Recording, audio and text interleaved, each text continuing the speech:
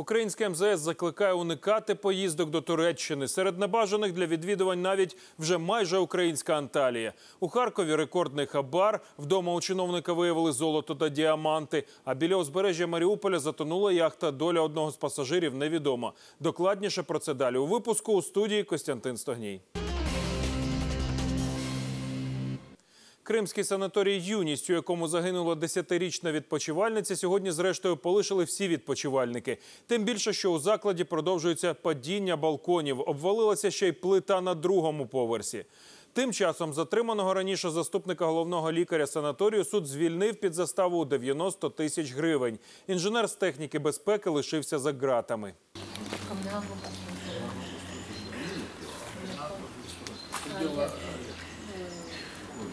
Родичі загиблої Діани мали б уже сьогодні повертатися до Львова, вести тіло на похорон, але їх спершу затримало керівництво санаторію, потім правоохоронці. У результаті люди спізнилися на потяг. Ну, завтра выезжаем. Все, мы сегодня уже про это тело не будем. Они... Все, они опоздали, они опоздали. По их вине опоздали. Но нам э, пообещали, что поезд задержали. нет? Матір Діани плаче, їй важко бути там, де загинула дочка.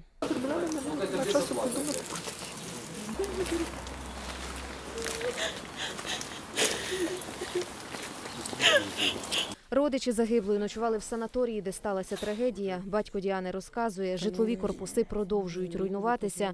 Сьогодні у тій самій будівлі обвалився балкон другого поверху. Тоді е, впав один кусок панелі. Сьогодні впав, там нікого не було. З другого поверху кусок бетону вже на низ. Сам по собі. Ми живемо в державі, яка хоче десь ще вибратись. Батьки відсилають дітей на відпочинок, забирають труні. І ще одна дівчина, яка впала разом із балконом, зараз перебуває у лікарні. Школярці 11 років. У неї струс мозку. Мама не разрешает общаться с девочкой. Тим часом суд відпустив під заставу у 90 тисяч гривень заступника головного лікаря санаторію. Слідство підозрює його у перевищенні службових повноважень. Інший підозрюваний інженер із техніки безпеки залишатиметься під вартою.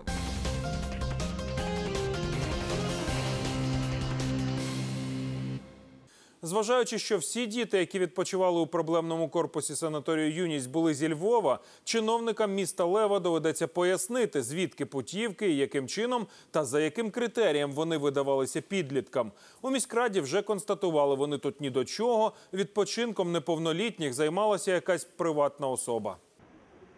Міська рада не дала жодного направлення до санаторію Юність. Усі путівки та оздоровчі рекомендації для дітей були написані однією людиною. Батьки зізнаються, купили все, як то кажуть, з рук.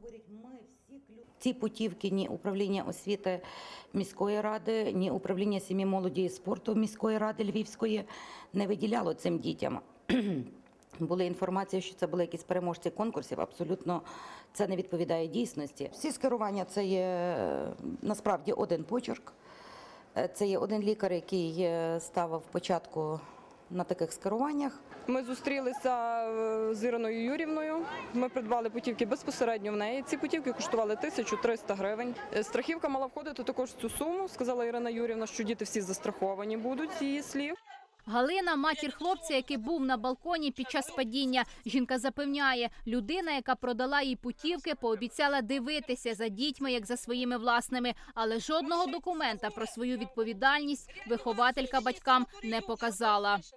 З слів, і вона на період з 17 травня по 10 червня, поки наші діти не повернуться у Львів, вона їхня мама, їхній тато. Вона несе повну відповідальність за життя, здоров'я наших дітей.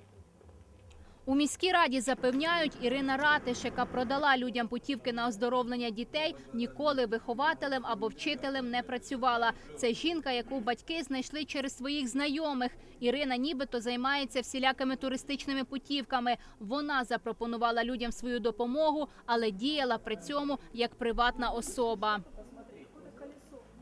Вона не є вчителем, вона не є педагогічним працівником жодного навчального закладу міста Львова. Вона є певно якась приватна особа, яка взяла на себе відповідальність перевезення цих дітей. Е, Спочатку вона відмовлялася, звичайно, зі мною розмовляти на перших порах. Батьки розказують, одразу після трагедії Ірина Ратиш заборонила школярам розповсюджувати будь-яку інформацію. Навіть про те, що дітей вже везуть до Львова, люди дізналися випадково. Син мені написав смс-ку такого змісту, я можу вам зачитати. Нам Ірина Юрівна казала, щоб ми особо вас не нервували своїми розмовами. Ми переживаємо, в якому стані взагалі перебувають там наші діти. Вона забороняє спілкуватися сину зі мною, тому що вона каже, що я її секретар, а їй секретарі не потрібні. Батьки бояться за життя малих і будуть вимагати від так званої вчительки моральної і матеріальної компенсації.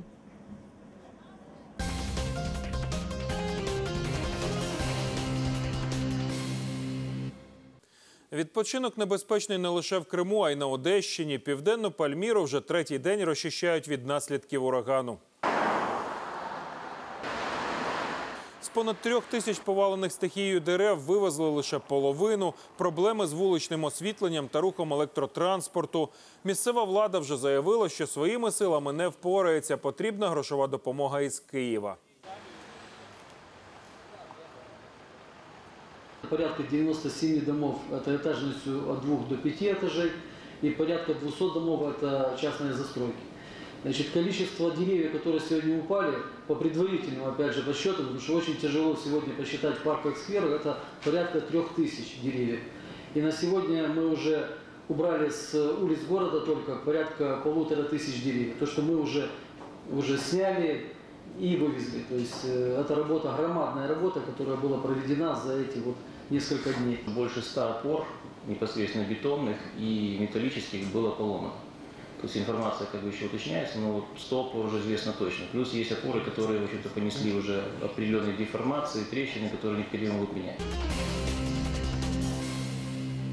В Криму обвалюються балкони, в Одесі падають дерева, а в Туреччині, вже майже українському курорті, людей розганяють сльозогінним газом. Масові безлади в країні вже набули міжнародного резонансу. Україна осторонь не лишилася.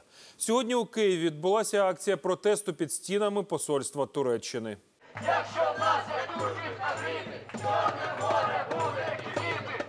Київські студенти не лишилися осторонь подій у Туреччині. Вони прийшли висловити свою солідарність із заморськими колегами під посольства цієї східної країни і привели з собою друзів зі Стамбула.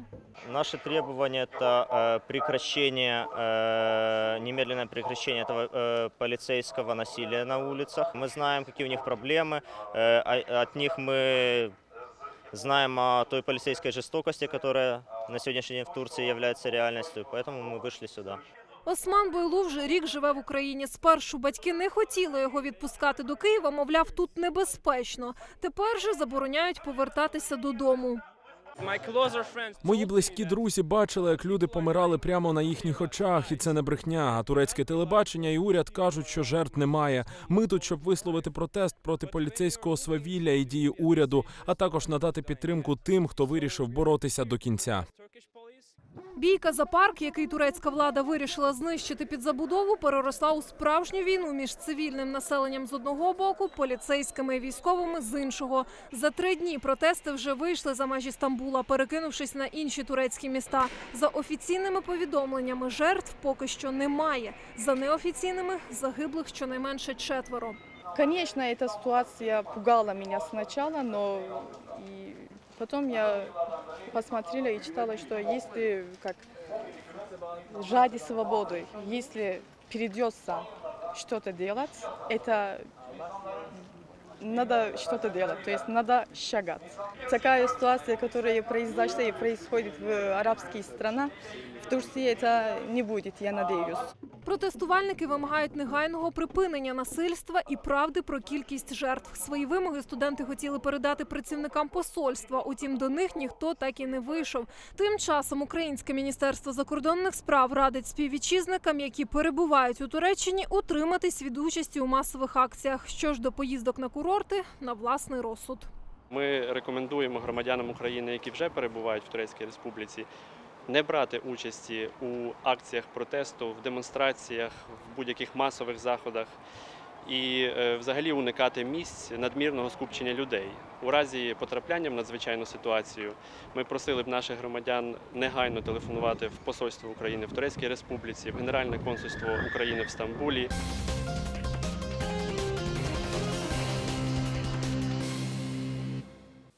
А волонтери дитячої клініки Охмадит сьогодні пікетували парламент. Люди закликали депутатів не блокувати законопроект про підвищення акцизу на пиво, бо гроші, які можуть надійти до бюджету у разі його ухвалення, будуть спрямовані на будівництво нового корпусу лікарні. Як відреагували на громадську ініціативу Слуги народу, дивіться далі. Комітети Верховної Ради завалили пляшками з-під пива. У такий незвичний спосіб активісти намагалися привернути увагу нардепів до його вартості. 9,50 ціна літра пива – це дешевше, ніж молоко і сік. Що дитяче харчування коштує у нас дорожче, ніж пиво. Мінеральна вода нормально коштує дорожче, ніж пиво. Саме тому, що акцизи на пиво мізерні, так? І ті кошти, які могли б йти на медицину, вони просто пропадають. Активісти вимагають підвищити акцизи на пиво на 20%, адже наразі вони найнижчі у Європі. В Україні акциз на літр пива складає 87 копійок. Для порівняння у Чехії 1 гривня 66 копійок. У найближчого сусіда Росії 3 гривні 83 копійки, а у Фінляндії аж 15 гривень 50 копійок. За підрахунками, в результаті підвищення акцизу півлітрова пляшка пива подорожчає на одну гривню. І цю гривню громадськість вимагає направити на будівництво Охмаддиту – лікарні для онкохворих дітей. Відповідний законопроект лежить у парламенті, але за нього депутати поки не беруться. Щоб нагадати народним обранцям про пивний акциз, активісти почали роздавати їм по пляшці пива прямо при вході на роботу. Вже маю цілу колекцію. Колег, тримайте. Цілу колекцію. Олег, візьміть, будь ласка. Ну, Я потім візьму. Ні, ну, ну ви розумієте, ну подивіться, що, що робиться. Ви дивіться, що- ви, ви дивіться, що робиться. Акцизи, акцизи найнижчі в Європі. Валерия, а вот вы же помните, мы к вам подходили в прошлый раз, бутылка с этой? Вы что-то надумали помочь все-таки избавлению, защиту прав э, человека от пива? Нет права законодательной инициативы. Есть, у вас, У меня? у вас все права есть. Алкоголь це зло. Більшість народних обранців про закон згадали, але пляшку не взяли. Бутылочку возьмешь? Зал, зал. Не хотят. Ну, э, видимо, много выпили вчера. Що можна виробляти із пивом, окрім як пити, активісти показували правоохоронцям. Нужно оборудование. Пять, шесть, семь, восемь. Але на фізичні навантаження вони відреагували без ентузіазму. Кваліфікованої допомоги в Україні просто вмирають. Зате в нас є стадіони, в нас Ну ми боремося, щоб не- вам менше роботи було. на жаль, ми гнилі. Бо ось час п'яні, вам тільки оці робота. Ну правильно я кажу? Менше бухать будуть, менше будуть вам роботи. Ви будете більше відпочивати. Ну, Поки активісти тренувалися, прийшли новини із кабінету міністрів. Перший заступник міністра не підтримує виділення грошей, якщо б ми їх добилися з акцизів на Охмадит. Що важливіше за здоров'я дітей, урядовці не пояснили. Чи підвищувати акцизи на пиво і наскільки вирішуватиме Верховна Рада, коли відбудеться голосування, поки невідомо. Головна ж інтрига на що підуть ці гроші.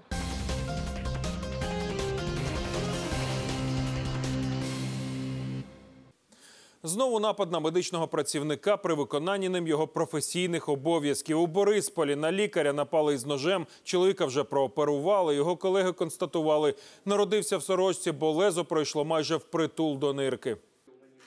Він лікує людей, а тепер і сам опинився на лікарняному ліжку. Пізнього вечора Романа Лора за спеціалізацією викликали на роботу. У приймальному відділенні він випадково став свідком того, як родичі іншого пацієнта скандалили із черговим лікарем. Чоловік вступився за колегу і намагався втихомирити агресивну компанію.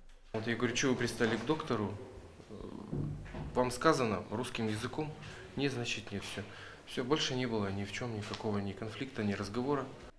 Надавши допомогу своєму пацієнту, Роман поквапився додому. У дворі на нього вже чекав озброєний нападник. Один із тих, кому він зробив зауваження. Он просто, просто вот так вот ножом просто тыкал.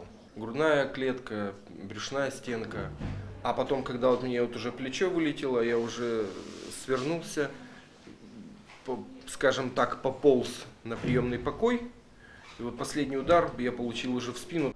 Стікаючи кров'ю, лікар сам піднявся в операційну. Колеги нарахували на його тілі вісім ножових поранень. Нападник цілився у життєво важливі органи. І це диво, кажуть хірурги, що лезо ножа їх не зачепило. Якби ребро не зупинило ножа, то він би проник в в порожнину серця, і це могло закінчитись фатально.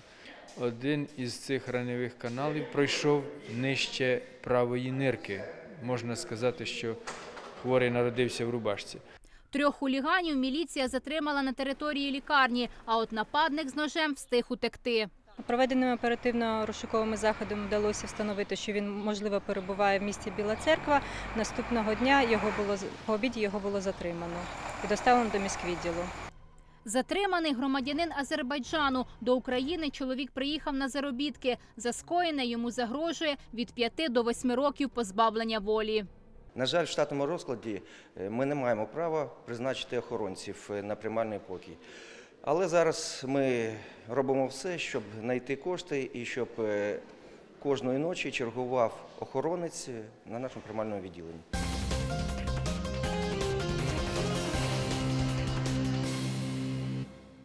У Запоріжжі посмертно нагородили жінку фельдшера, яку вбив льодорубом психічно хворий чоловік. Він накинувся на бригаду лікарів швидкої ще й з кислотою. Марина Савоніна отримала орден за заслуги перед Запорізьким краєм третього ступеню. Відповідне рішення ухвалив губернатор області Олександр Пеклушенко.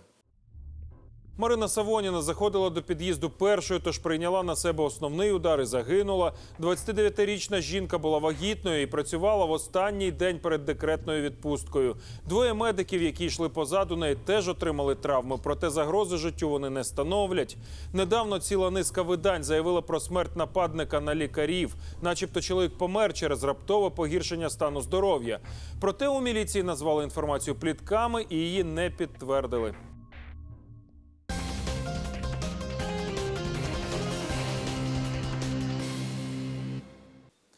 Батьки з Дніпропетровщини в один день поховали відразу двох синів. Одному було 20, другому 18. Тіла хлопців знайшли у воді. В міліції впевнені, був нещасний випадок. Батьки ж, які бачили на дітях сліди побиття, констатують холоднокровне вбивство чиновницькою мафією.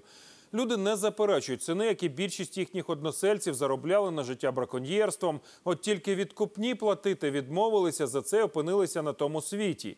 Після візиту надзвичайних новин справу взяла на контроль прокуратура. Там у роботі міліції знайшли порушення і відправили матеріали на додаткове розслідування.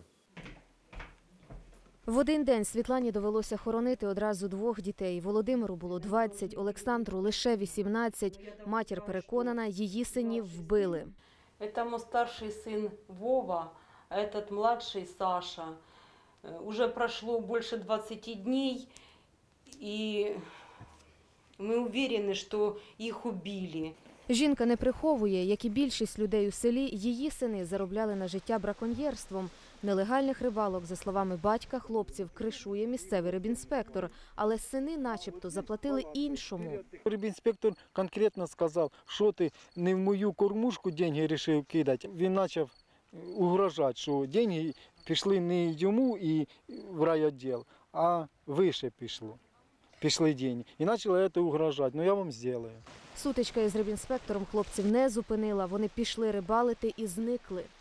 Ось тут на річці і знайшли перевернутий човен братів. Власне, це єдиний факт у цій історії, який не викликає жодних сумнівів. Адже стосовно того, що конкретно сталося з парубками та як саме їх шукали, існує дві абсолютно протилежних версії.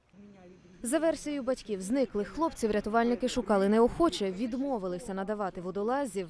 Нет, мы не требовали ни копейки с родителей денег. Вы сказали, что перечисляйте деньги, мы сейчас предоставим вам счет, полторы тысячи 15 минут. Вот сколько вы перечислите денег, вот сколько мы будем минут искать. Если мы отправим э, своих людей, водолазов, э, бездуманно, без э, принятия конкретного решения, могут погибнуть и наши люди.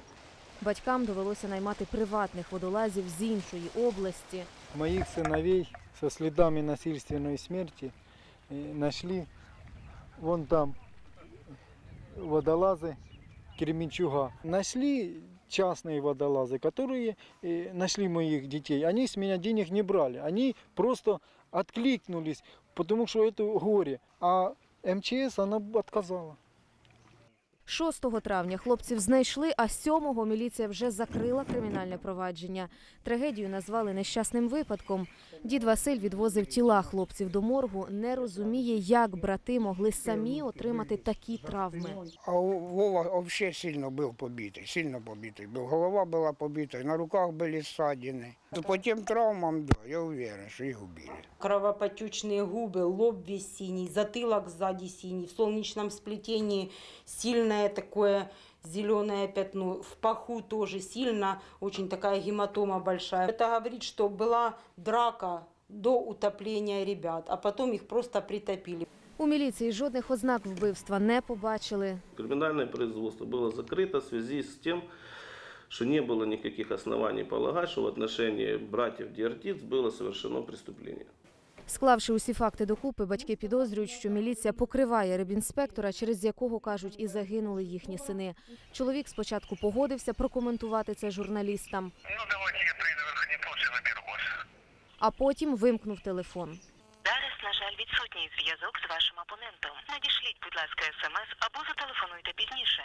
Скарги батьків зробили свою справу в обласній прокуратурі. Закриття кримінального провадження назвали незаконним. Прокуратура з даним рішенням не погодилася, скасувала це рішення як незаконне, надані вказівки про проведення додаткових судових експертиз, а також, також на встановлення обставин та свідків перебуває на особистому контролі моєму і прокурору області.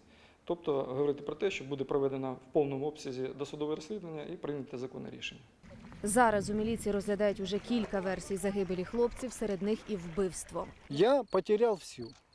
И я готов идти до конца. Всю систему эту расскажу. Я хочу добиться э, правды, чтобы нашли, нашли убийц моего сына, одного и второго.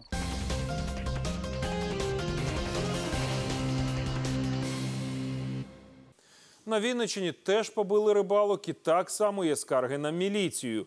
Чоловіки вудили на ставку, який межує з орендованим, і не порозумілися із охороною приватної фірми. Як наслідок, в одного з них синці та травма голови, другому не пощастило більше. У чоловіка зламане ребро та вибиті зуби. Правоохоронці, за словами людей, на їхні заяви не реагують. Ігор розповідає, разом із тестем ловив рибу на сільському ставку. Раптом підійшли двоє п'яних і нічого не пояснюючи, накинулися на літнього чоловіка. Ігор каже, відтягнув нападників в бік, але замість заспокоїтися, ті викликали підмогу вже зі зброєю. Я підійшов, з- розборонив, а цей, що був за рулем, по телефону визвав ще двох хлопчиків. І вони приїхали почали бити тестя. Вони вийшли за машини і почали зразу мене бити, вдарили по голові, і я потеряв сознання. Очнувся, що я в воді. У воді почав вилазити наверх. Дивіться, він підстається на мене ставить, стріляє. Ігор розповідає, коли знову спробував захистити тестя й сам отримав на горіхи. Нападники, яких було уже четверо, начебто били його ногами по обличчю, кидали у воду та навіть душили. Хворий поступив до нас у відділення із е, е, з травмою голови. Е, В стані він був задовільному, от, но скаржився на головний біль, запаморочену доту. Іншому рибалці тестові Ігоря дісталося ще більше. У чоловіка розбита голова, вибиті зуби та зламане ребро. У нього черепно-мозгова травма струзованого мозку, травма грудної клітки з переломами ребр, забійна рана голови. Слідом за швидкою на місце бійки приїхала і міліція. Однак, кажуть родичі потерпілих, якщо лікарі свою справу зробили, то правоохоронці – ні. Люди впевнені, працівники міліції покривають нападників, бо мають з того зиск. Вони мають вигоду, тому що вони там риболовлять, проводять свій вільний час е, на ти, можна так сказати, з цими рибоводами на ти. І все. Вони зразу сказали, що там все буде залагоджено і не їсти, і не збивайте пороги. За словами Валентини, з її чоловіка та батька замість потерпілих тепер хочуть зробити винних, адже за версією міліції чоловіки рибалили на орендованому, а не спільному сільському ставку, і самі напали на охоронців. Щоб з'ясувати, хто ж кого насправді бив, знімальна група навідалася у село, де сталася бійка. Відкрито говорити на камеру люди відмовляються, кажуть, бояться помсти. Ну, люди кажуть, там сторожа десь понапивалися та й били людей, то, то рибаків. Бо то все їхнє хазяйство, а тут вони сиділи. Поспілкуватися із охоронцем, який, начебто, був ініціатором бійки, не вдалося. Телефон чоловіка був вимкнений. У міліції ж пояснюють, відпрацьовують різні версії, адже із заявами про нанесення тілесних ушкоджень до них звернулися обидві сторони конфлікту. Після проведення експертизи та з'ясування всіх обставин по кримінальному провадженню буде прийнято об'єктивне законне рішення. Однак потерпілі на правоохоронців вже й не сподіваються. А тому кажуть люди, шукатимуть справедливості у суді та прокуратурі. Будемо звертатися в прокуратуру на бездіяльність міліції. Будемо звертатися в внутрішню безпеку, щоб вони, звісно, теж перевірили, як працюють їхні співробітники міліції, чим вони займаються і як покривають людей, які чинять беззаконня.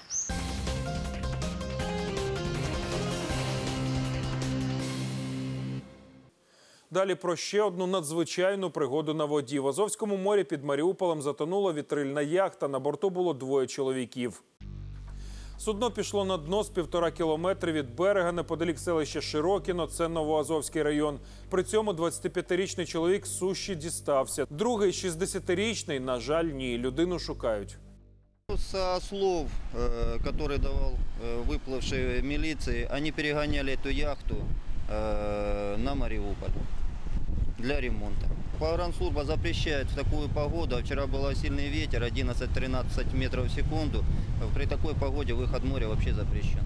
Ми надіслали інформацію е, судам, які проходять по рекомендованому курсу.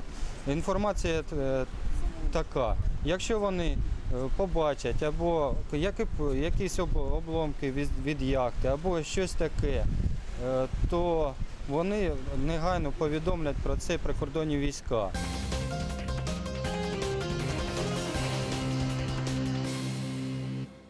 У Вінниці горіла тюрма, жертв та постраждалих немає. Дісталося лише конструкції даху. Його доведеться міняти, а це близько 200 квадратних метрів. Зайнялося горище одного з корпусів виправного закладу. Людей там не було, тож обійшлося без неприємних сюрпризів. Звісно, якщо не вважати за нього сам інцидент. Задимлення було виявлено на горищі. Там, в принципі, і був осередок е, пожежі. Безпосередньо горіння було на площі 50 квадратних метрів. Але ускладнювалася ситуація тим, що дуже було велике задимлення, і е, зараз вітер, то вітер сприяв якраз і поширенню вогню. Жертв немає, постраждалих немає. У загальному корпусі, тому де виникло було знайдено задимлення, осіб не було. Наразі проводиться перевірка виникнення цієї надзвичайної події.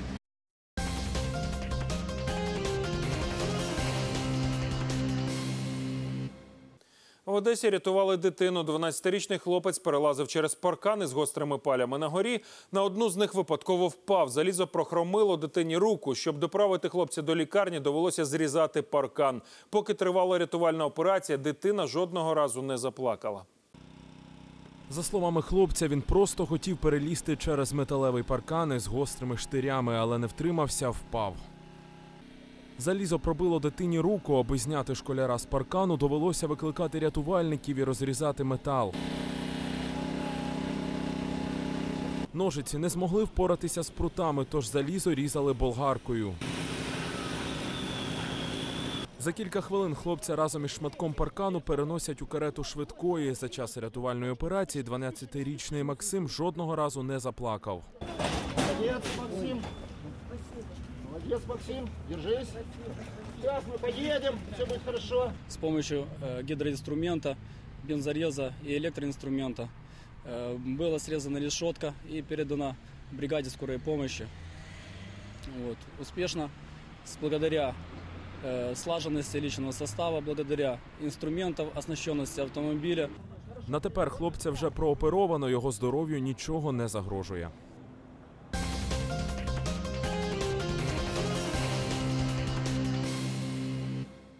А на Луганщині вдалося врятувати хлопчика, якому усього 5 днів від народження. На немовля натрапив безпритульний, коли збирав порожні пляшки. Лікарі діагностували у немовляти силу селену кліщів та переохолодження. Медики припускають, що дитина цілу добу пролежала на землі. Хлопчика знайшов Вадим, чоловік безхатченко. Каже, саме збирав порожні пляшки, коли почув дитячий плач. Слышу, что-то домой кошка. Глянул, сверток. Я выскочил. Там дышать нечем, его замотали его вообще. Я выскочил, парень стоит. Я ему говорю, позвони, пожалуйста, или, я не знаю, в милицию, в скорую. Тому, по-моему, ребенок живой. Малого одразу направили до реанімації, бо його покусали комахи, а температура тіла впала через переохолодження. Из проблем ребенок обезвожен, э, выраженнейшее переохлаждение, множественные инфицированные раны вследствие клещей.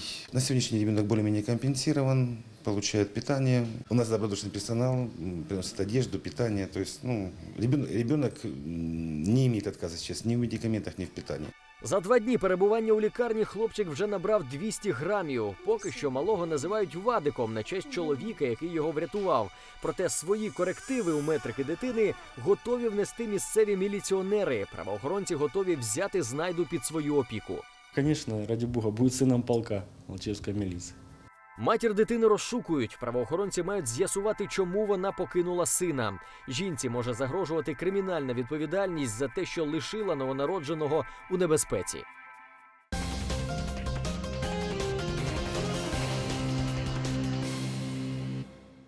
Далі про тих, кого вже не врятувати. У ДТП на Тернопільщині загинуло відразу троє людей. Сценарій трагедії вже до болю знайомий. Принаймні він притаманний добрій половині усіх трагедій на дорогах. Керманич легковика надміру поспішав на зустріч своїй загибелі, тож вирулив на зустрічну. Серед жертв обидва водії та пасажир позашляховика. Ще двоє людей, які знаходилися у джипі, отримали травми.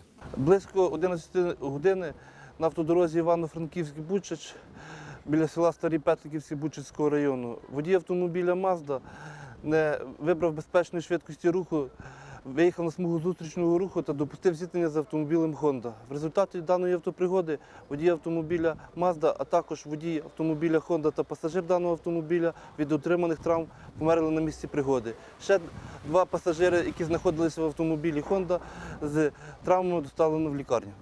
У Рівненській області теж лобове зіткнення. Легковий «Опель» не розминувся із рейсовим автобусом, ущен заповненим пасажирами. На зустріч е, їхала сіра, що я встиг побачити.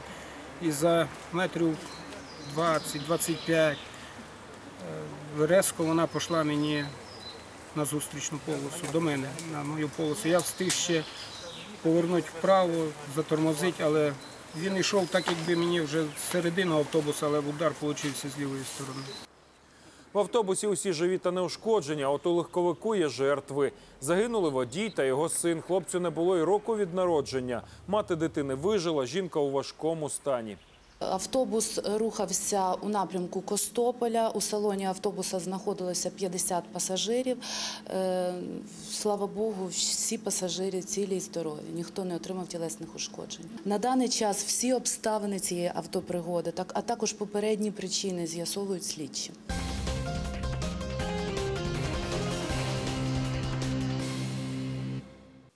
Додому до Одеси повернулися моряки, які натерпілися, перебуваючи під арештом у Лівії. Люди у безпеці завдяки втручанню дипломатів з МЗС тепер хочуть ще й зарплату відсудити, хоч і знають, що це буде непросто. Халепи, у які потрапляють наші моряки за кордоном, на жаль, вже явище звичне. Є цьому доволі просте пояснення. Люди погоджуються здебільшого навіть на ризиковані контракти, бо вдома в Україні позбавлені можливості заробити. Ці кадри зроблені українськими моряками біля берегів Лівії. Суховантаж із зерном у трюмах ледь не пішов на дно. налетело такое западный, что мы, его западный, что мы уже начало ломать нам, обрывать нам фальшборта. До трюмів потрапила вода, зерно намокло. Власник вантажу почав вимагати компенсацію за завдану шкоду. У відповідь отримав відмову. Когда они пришли э, нас выгружать, они, значит, проверили груз на анализы, взяли, ну, оно видно было, что оно по коминсам, оно видно было, куда вода заходила, и они опытные люди, и они взяли там, это, определили нашу эту э, по- подмочку груза. Судно арештували, а дев'ятеро українських моряків стали заручниками ситуації. З лютого вони стояли у порту Бенгазі без їжі та води. Віктору Кравченку вже 75. На судні він був помічником капітана. Вижити йому та його підопічним допомогли моряки з інших суден. Слышишь, в эфире стоишь, а пришло наше судно, вот оно заходит, там, я говорю, Ваня, так и так, вот мы арестованы там. Что там у тебя есть? Э, Такой загашничек. Лише нещодавно українські дипломати домовилися із лівійцями, аби ті відпустили наших моряків додому. Люди повернулися без зарплати, хоч і будуть за неї судитися, проте справа не з простих. Мы не, да- даже не знаем, и экипаж не знает, э, где находится этот работодатель, его контактных деталей, э, также его финансового состояния. Более того, в самом контракте указана э, фирма очень нечетко. Э, Мы даже не знаем название этого работодателя. Э, Поэтому мы стоим перед э, ситуацией, когда мы можем э, рассчитывать только на взыскание э, данной задолженности за счет реализации судна. Аби почати процес продажу судна, треба найняти у Лівії досвідченого юриста. Його послуги коштуватимуть від 200 до 500 доларів за годину. Таких грошей у моряків, які кілька місяців провели у полоні, немає. Редко кто из иностранных адвокатов соглашается работать на э, условиях по результату, так сказать, в случае получения какой-то суммы экипажем, э, возместить свои юридические расходы и э, вычесть из, этого, э, из этой суммы свои юридические гонорары. Халепи, у які потрапляють наші моряки, стаються часто. Серед причин здебільшого ризиковані контракти. Люди на них погоджуються, бо в Україні 5-7 тисяч доларів на місяць не зароблять. В Індії у порту Мумбай відразу десятеро наших співвітчизників вже майже рік не можуть повернутися додому. Один з чоловіків потребує негайної медичної допомоги. Як тільки люди зійдуть на берег, одразу втратять шанс на отримання зарплати. На судне отсутствует э, топливо, соответственно, ну, то есть все системы жизнедеятельности судна не работают. Петро теж моряк. Він розповідає свою історію перебування у полоні.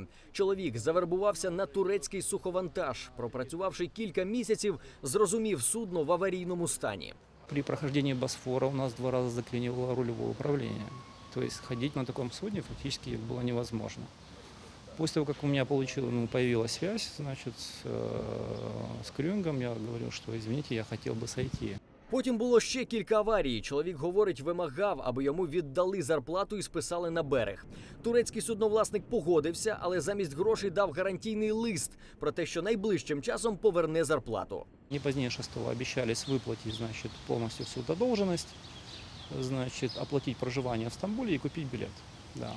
Причем все это было довольно-таки добровольно, да, после вот этой вот их истерической выходки.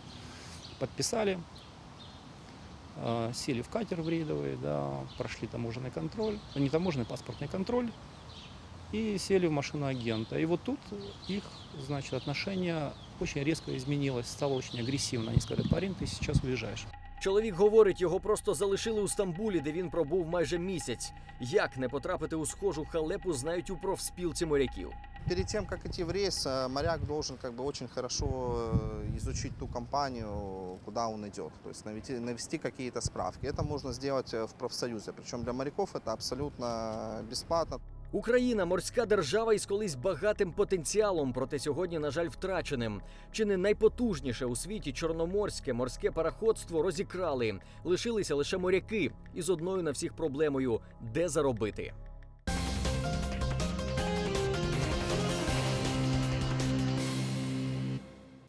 Головний ветеринарний лікар Харківщини погорів на хабарі у 40 тисяч доларів. Грошей з рук у руки не брав, діяв через посередників. Утім, навіть незважаючи на таку обережність, все одно затриманий. 40 тисяч доларів це лише перший транш. Загалом чиновник мав отримати 70 за дозвіл на виробництво та продаж продуктів харчування. Під час обшуку будинку затриманого у нього вилучили золото та діаманти. Загальна вартість прикрас понад 100 тисяч доларів. США. Тюрма світить не лише чиновнику, а й двом його підлеглим, які були посередниками в отриманні хабара. Невыдача эксплуатационного разрешения таким образом парализовывала работу предприятия. Предприятие не могло заниматься ни заготовкой, ни переработкой, ни поставкой продукции. Без этого разрешения предприятие работать, функционировать не могло. Поэтому это и обусловило такой большой размер незаконное материальное вознаграждение. Указанное должностное лицо использовало для получения взятки двух сообщников. Э, Для чего? Чтобы деньги не передавать с рук в руки. По ходу получения взятки э, использовался тайник. Значит, деньги передавались в лесу. Обычная ложбинка под пенечком в лесу.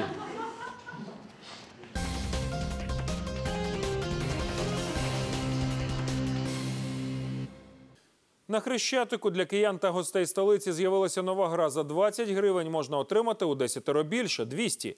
Задля виграшу потрібно усього нічого. Дві хвилини провисіти на турніку. Усе начебто не те, що просто, елементарно. Проте навіть для людини з книги рекордів Гіннеса Тараса Корніюка вправа виявилася надскладною. У чому секрет? Дивіться далі у сюжеті. Провисіти на турніку дві хвилини на перший погляд завдання з уроку фізкультури. Накачані чоловіки, які підходять до атракціону, налаштовані швидко і без зусиль виграти приз у 200 гривень, та ще й дають поради іншим. Просто э, нужно... Уверенность. Уверенность в себе, нужно повисеть и просто не двигаться. Думаю, що, що зможемо. Утім, ані впевненість у собі, ані азарт, ані накачані м'язи не допомагають Дмитру протриматися на перекладині навіть хвилину Коли тримаєшся, він виходить, тебе шатає трохи, він починається, що крутиться сам по собі. Від нової забавки немає відбою. Спроба коштує 20 гривень. Та ще й адміністратор атракціону підбадьорює, буцімто люди частенько виграють. Один-два человека в день выигрывают. Бывает, никто не выигрывает в день. То есть, бывает по 100 гривен выигрывают. То есть, минуту 45, минуту 50 не додерживаются, бывает несколько секунд. Чи легко виграти 200 гривень? Йдемо перевіряти із Тарасом Корніюком. Він турнік підкорював не раз. П'ять років тому його рекорд увійшов до книги Гіннеса. Хлопець протягом трьох годин робив вправу підйом-переворот. Втриматися ж на перекладині дві хвилини справа для початківця. Якщо хвилювання нема, то все вдасться. Перша хвилина, і Тарас помітно втомлюється. Ще 30 секунд і зістрибує з перекладини. Встановити рекорд книги Гіннеса виявилося легше, ніж втриматися на такому турніку. Хлопець пояснює, перекладина рухома при захваті руками прокручується, тобто людина має втримати свою вагу лише на пальцях. Звичайна людина не зможе провисіти на цьому турніку. На звичайному турніку, е, який не прокручується, ви можете вільно перебирати руками. Тут, якщо вас бачите, що зап'ястя втомилися, е, ви руками перебрати не зможете. Міліція на турніки із елементами відвертого шахрайства не зважає, бо люди добровільно віддають свої гроші, та й скарг немає. Скарг поки що до столичної міліції від громадян та будь-яких установ не надходило. А у випадку, якщо такі звернення будуть, ми будемо вживати відповідних мір реагування відповідно до чинного законодавства. Схожий турнік, що прокручується, Тарас змайстрував у себе вдома і тепер щодня тренуватиметься, аби уже власників атракціону пошити у дурні.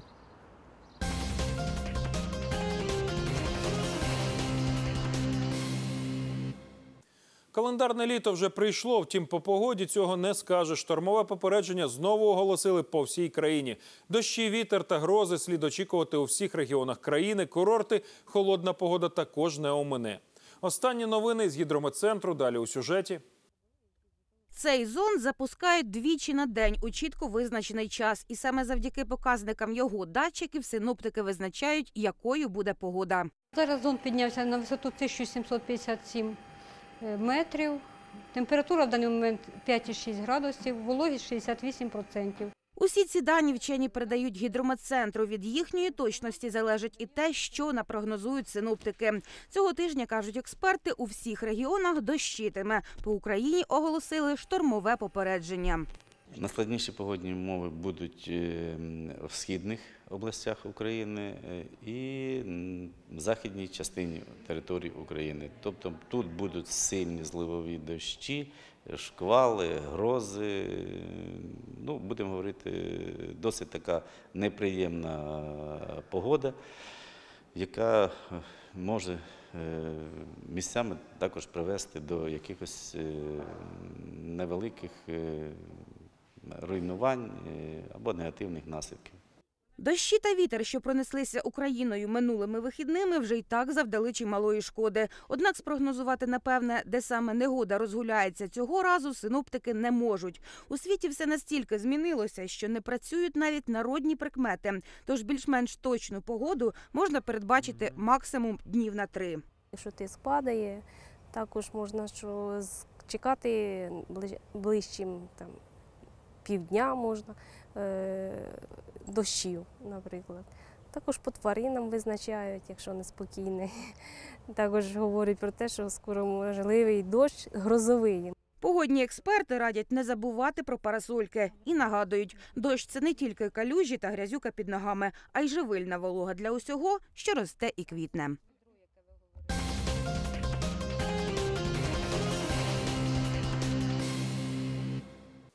Це все на сьогодні. Гарного вечора. Завжди ваш Костянтин Стогній.